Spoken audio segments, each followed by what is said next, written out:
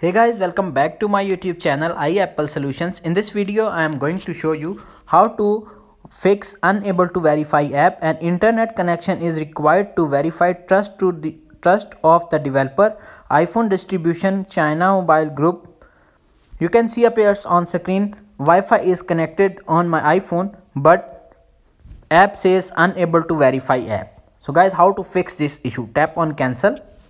Solution number one is tap on settings app. Tap on general.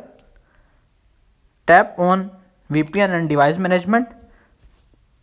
You can see appears on screen.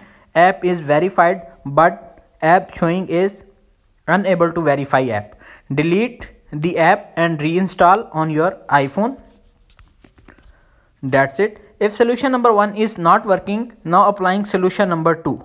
Solution number two is reset all settings and reinstall on your iPhone and iPad.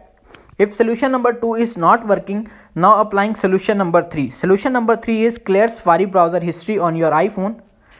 Open the settings app. Go to Safari browser and scroll up. Tap on clear history and website data.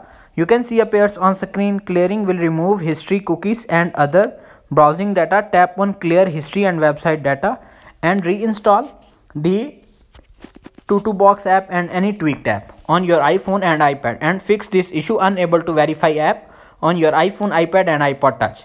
If video is helpful for you please don't forget to share and subscribe my YouTube channel. Thanks for watching.